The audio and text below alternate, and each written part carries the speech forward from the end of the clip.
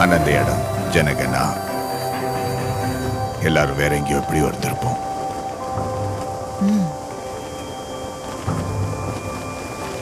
நானும் இப்படி ஊர் விட்டு ஊர் வந்து பேர் கூட சொல்லாத ஒருத்தனோட கையை பிடிச்சு நின்றுட்டு இருக்க மாட்டேன்.